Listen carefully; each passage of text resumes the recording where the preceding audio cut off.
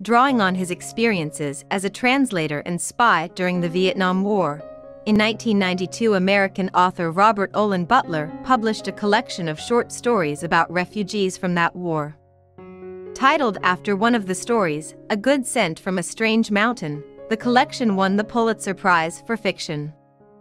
After the fall of Saigon at the end of the Vietnam War in 1975, more than 3 million refugees fled the country, with about half settling in the United States. They were unable to return to Vietnam, which had been transformed into an unrecognizable place that posed danger to those who tried to escape from its communist revolutionaries. Butler gives voice to the variety of struggles refugees face in the new environment. Each story in the collection is written in the first person from the perspective of a different Vietnamese immigrant to Louisiana, thematically linked by issues of culture clash, identity preservation, and assimilation. In Open Arms, we are still in the midst of a war. A Vietnamese translator working with the Australian Army tells the story of Ten, a former communist who has defected after his wife and children were murdered. When the Australian soldiers take him to see an X-rated movie, Ten is disgusted. Eventually, he murders an Australian soldier and kills himself. The narrator speculates that Ten was torn because he found the porn immoral, but it also reminded him of his desires for his dead wife.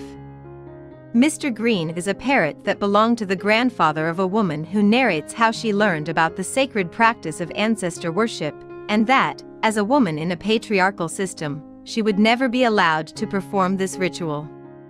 Although at first, the woman cares for the parrot, bringing it to America, she eventually wrings its neck, discarding the misogyny of Vietnamese Confucianism for feelings of self-worth anchored by the sexual revolution and second-wave feminism. The trip back is told from the point of view of Can, a young man whose wife is thrilled that her grandfather has finally been allowed to immigrate. But when Can picks the old man up the airport, he is saddened to see that the grandfather suffers from severe dementia.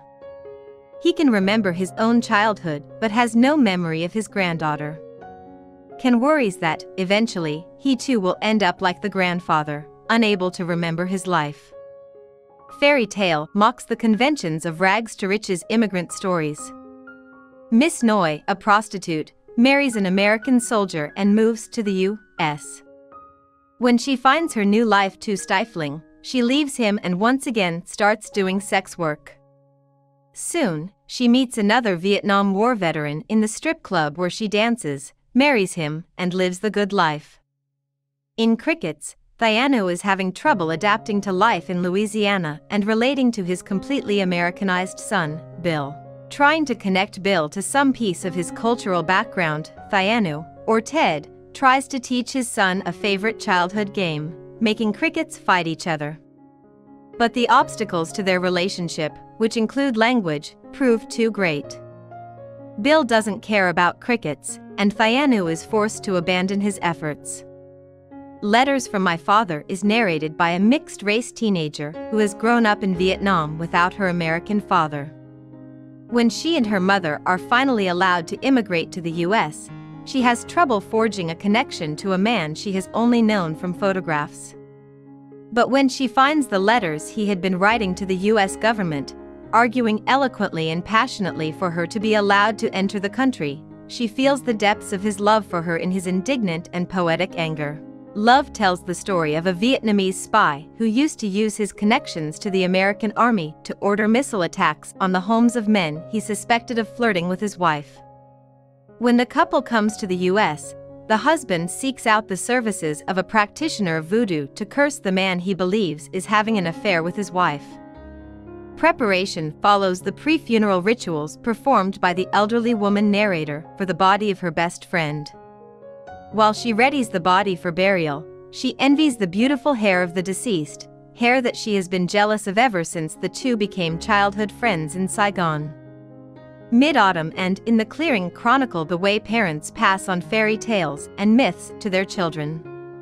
In Mid-Autumn, a pregnant woman tells her unborn baby a story about an emperor who found happiness on the moon, while in In the Clearing, a father apologizes to his son for having had to leave the family in Vietnam. In A Ghost Story, the narrator tells the story of Miss Lin, a ghost who rescues men in order to later eat them. He swears that this story is true, and he should know. Although Miss Lin has left him alone, he has been devoured by the ghost of Vietnam itself, so much so that he has been turned into a ghost in America. Snow tells the story of a waitress named Zhao who bonds with a Jewish man while he is waiting for his takeout order. It turns out that they are both scared of snow and have enough things in common that they decide to go on a date. The narrator of Relic is a man who, feeling stifled by the Vietnamese immigrant community, wants to break away from it in order to be a more successful businessman. But despite his attachment to assimilation, he is haunted by his past by memories of his wife and children, who stayed in Vietnam. The American couple is more novella than short story. Gabrielle and Vin are in Mexico on vacation when they meet an American couple, Frank and Eileen. Frank and Vin soon start being passive aggressively hostile with each other about their experiences as soldiers in Vietnam. Gabrielle can only note the tension, because she has never known much about Vin's experiences, she can only observe the men from the outside.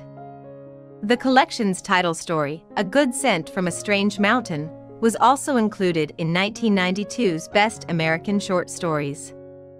In it, a very old dying man named Dao describes how different kinds of people have suffered because of what happened in Vietnam. His son-in-law and grandson helped murder a fellow immigrant who voiced support for Vietnam's new communist regime.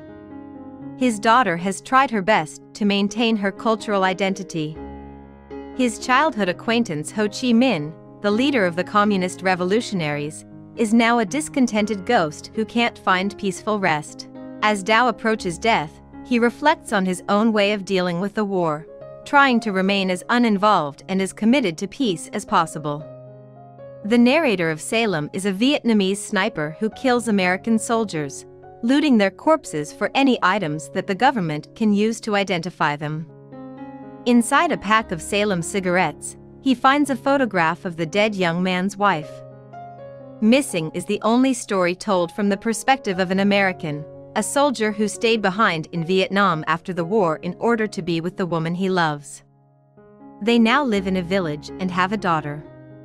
One day, Someone shows him an American newspaper article about soldiers that are missing, and his picture is one of them. But to the narrator, the idea that he should go back to the US is odd. I'm not missing. I'm here, he says, the village is his home. I hope you enjoyed this video leave a like if you did and be sure to subscribe thank you.